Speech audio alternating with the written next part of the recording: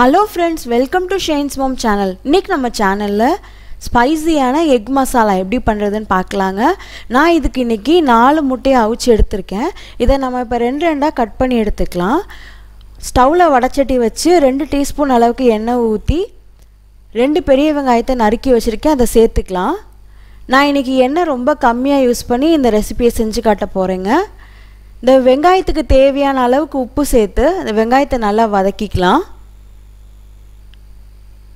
வெங்காயம் ஓரளவுக்கு வதங்கினதும் இது கூட அரை டீஸ்பூன் அளவுக்கு மஞ்சள் தூள் அரை டீஸ்பூன் அளவுக்கு ஜீரகத்தூள் அரை டீஸ்பூன் கரம் மசாலா அரை டீஸ்பூன் மிளகாய்த்தூள் அரை டீஸ்பூன் மிளகுத்தூள் இதெல்லாம் சேர்த்து பச்சை வாசனை போகிற அளவுக்கு நல்லா வதக்கிக்கலாம்.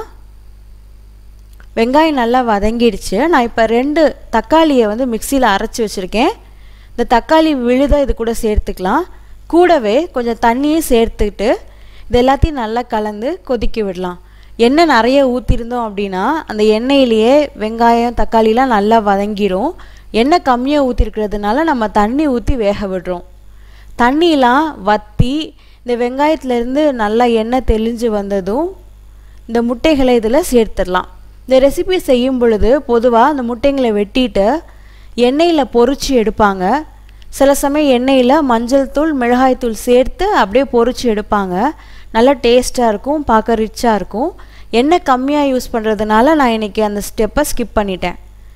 இப்போ இந்த எண் முட்டைகள்லாம் உடையாமல் இந்த மசாலாலாம் நல்லா முட்டையில் கோட் ஆகிற அளவுக்கு இதை நல்லா கலந்து விட்டுக்கலாம். மசாலா நல்லா கோட்டானதும் நல்லா நம்ம கலந்து விட்டதும் இந்த முட்டைகளை அப்படியே ஸ்டவ்வில் லோ ஃப்ளேமில் ஒரு ஒரு நிமிஷம் அளவுக்கு இப்படியே விட்டுறலாம். இந்த வெங்காயத்துலேருந்து எண்ணெய் தெளிஞ்சு வந்தது இல்லைங்களா? அந்த எண்ணெயிலேயே இந்த முட்டை கொஞ்சமாக ரோஸ்ட் ஆகும். அடி பிடிச்சிடாமல் பார்த்துக்கோங்க லேசாக கிண்டி விட்டுக்கோங்க. லோ ஃப்ளேமில் விட்டுட்டிங்க அப்படின்னா அந்த எண்ணெயில் லேசாக அந்த முட்டை ரோஸ்ட் ஆயிரும். அவ்வளோதான் அது ரெடி ஆயிடுச்சு. உங்களுக்கு காரம் ரொம்ப பிடிக்கும் அப்படின்னா இந்த ஸ்டெப்பில் கொஞ்சம் மிளகுத்தூள் தூவி இறக்கிக்கலாம். என்கிட்ட கொத்தமல்லி தழை இல்லாததுனால இன்றைக்கி நான் சேர்க்கலை. ஸ்டவ் ஆஃப் பண்ணுறதுக்கு முன்னாடி நான் அறுக்கின கொத்தமல்லி தலையை கொஞ்சம் தூவி ஸ்டவ் ஆஃப் பண்ணிக்கலாம்.